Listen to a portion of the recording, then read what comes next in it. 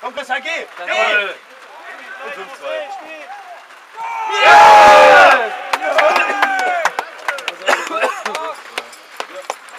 Naja, na endlich. Ja, noch 6-2, da haben wir gesagt, zu ihm, oder?